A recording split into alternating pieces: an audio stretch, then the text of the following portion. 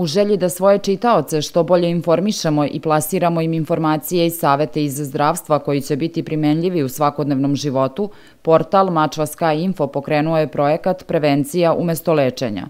U nizu stručnjaka koji će nam pomoći u ovoj nameri je dr. Branko Vujković, lekar u službi fizikalne medicine i rehabilitacije opšte bolnice Šabac.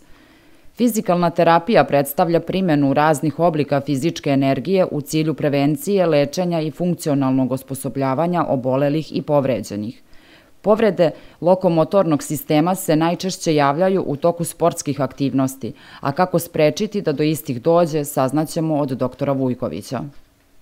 Delokrug rada službe fizike medicine i rehabilitacije su pored naravno bolesti koje nastaju kao posljedica nekretanja i one druge koje nastaju kao posljedica neadekvatno dozirane fizičke aktivnosti.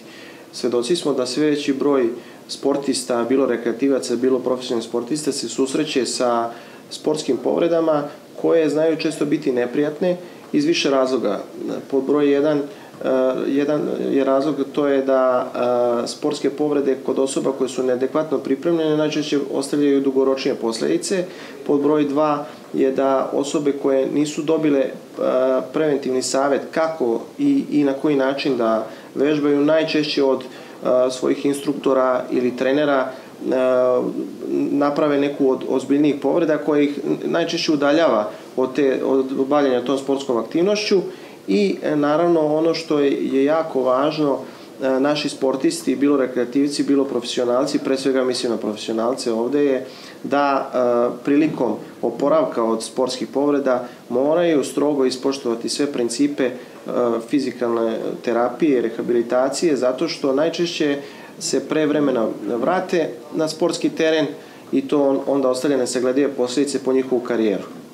Osoba koja je rešila da se bavi nekim sportom, bilo e, rekreativnom aktivnošću, bilo profesionalnom aktivnošću, bi definitivno trebalo da obavi pregled od strane kompetentnog lekara, zdravstvenog radnika, bilo je to specijalista sportske medicine ili fizikalne medicine, e, gde će dobiti, ako govorimo o rekreativcima, preporuku koji je to sport koji je najbolji za datu osobu, koji neće narušiti funkcionalni status osobe i poboljšati naravno trenutni funkcionalni status, kao i za profesionalce gde će dobiti preporuku kako i na koji način najbolje da se pripreme za datu fizičku aktivnost i kako da se oporave nakon obavljanja fizičke aktivnosti. Adekvatno dozirani pokret i opterećenje su najbolji način i za prevenciju povrede i za oporavak. Tako da uvek je preporuka adekvatno dozirati opterećenje jer nijedan lek, nijedan vitamin, nijedan suplement ne može prevenirati nastanak povrede. Yeah.